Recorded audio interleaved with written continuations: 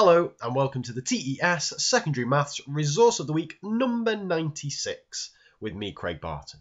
Now, this year on the Resource of the Week series, every fourth Resource of the Week will be a premium resource. That's a resource that has been created by a maths teacher in the classroom and is for sale on the TES uh, marketplace. Now, this week's premium resource is an absolute classic. I think the name will be familiar to most people who use TES regularly, Ben Cooper, as will this Mega Maths PowerPoint, but this is version 3, a wonderful upgrade to version 1 and version 2, which have been some of the most highly downloaded maths resources we've ever had on the website, and they're absolutely phenomenal.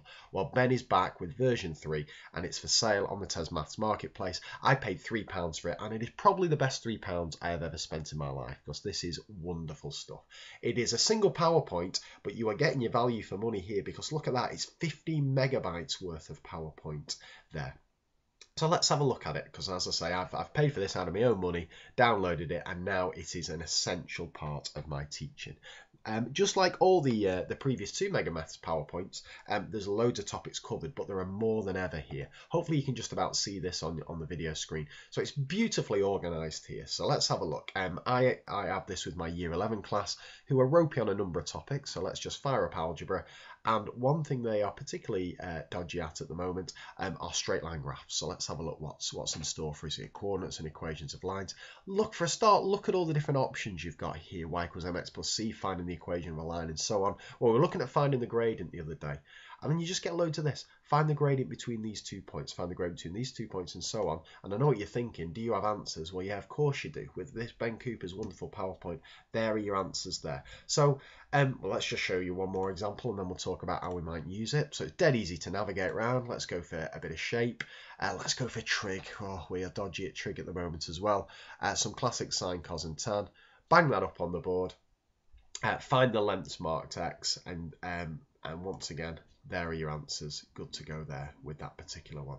So how might you use this in the classroom? Well, what we do um, in our school is we have this for our year 11s um, and at the moment we've kind of abandoned the scheme of work for year 11s because we're trying to find out different gaps that they have in their knowledge and we do that by using diagnostic questions essential skills quizzes we set one of those every single week that tends to reveal a major misconception and different classes tend to have different misconceptions and then we cover that um, in the classroom and this is a really nice way to do that um, because it's just questions just there just just kind of ready to be used you don't have to dig around to find them just project them up on the board students can work through at their own pace and then uh, then you can get these marked as well so it's just perfect for that uh, ben on his uh, description of this describes this as perfect for an emergency re-rooming lesson, and I can definitely relate to that. Or where have my textbooks gone lesson, or oh uh, my gosh, I can't believe they've forgotten this lesson. It's that latter one that I'm using this loads with. I'll do a quick starter on adding fractions or something, thinking it's going to take me 30 seconds.